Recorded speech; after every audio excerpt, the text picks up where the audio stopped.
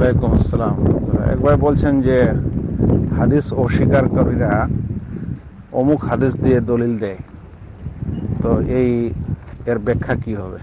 প্রথমে আমি বলব, যারা আপনারা আপনারা জ্ঞানে পাকাপোক্ত নন, তারা কোনো বেদাতি, কোনো সংশয় সৃষ্টিকালী দলের সংশয় শুনবেন না।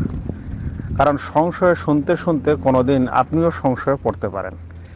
সেই জন্য বেদাতিদের সঙ্গে উঠা বসা সংস্পর্শে ইসলাম নিষেধ করা হয়েছে। এবং ওই সকল অনুষ্ঠানে কোনো মানুষ যেতে পারে না, যে সকল অনুষ্ঠানে ধরে নেন সিরকি কার- কার্যকলাপ হয়, যেমন মাজার ইত্যাদিতে। সেখানে কমজোর ইমানের মানুষ, যাদের ইমান কমজোর কিংবা আকিদা কমজোর, তারা যেন সেগুলোতে না যায়।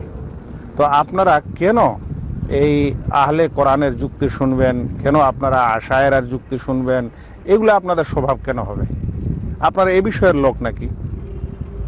তাহলে যখন সংশয়টা মাথায় আসছে বা ওরা একটা দলিল দিচ্ছে, আর আপনি দলিলটা খুঁজে আবার সহিও পাচ্ছেন, তখন আপনার মাথায় সংশয় আসে না? এইভাবে করতে করতে কোনো দিন আপনিও ফাঁদে পড়তে পারেন। সেই জন্য এই সকল চক্রান্ত ছাড়েন। প্রথমে নিজে জ্ঞান অর্জন করেন, করার পর আপনারা পাকাপুক্ত হন, নিজের ইমান আকিদা, মানহাজ সুন্দর করেন। তারপরে যদি আপনি দায়ীর পর্যায়ে পৌঁছে যান যে ওদের খণ্ডন করতে পারবেন, তখন শুনবেন। আর ওই হাদিস, ওই হাদিসটা দেখেন, ওই হাদিসটা কি মোসনাদ হাদিস না ওই হাদিসটা ওই হাদিসটা মৌকুফ হাদিস? এখন মোসনাদ মৌকুফ কা- বলে এগুলোরও জ্ঞান নাই মানুষের।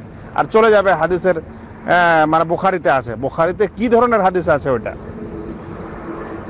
এগুলো বুঝেন ভাইয়েরা।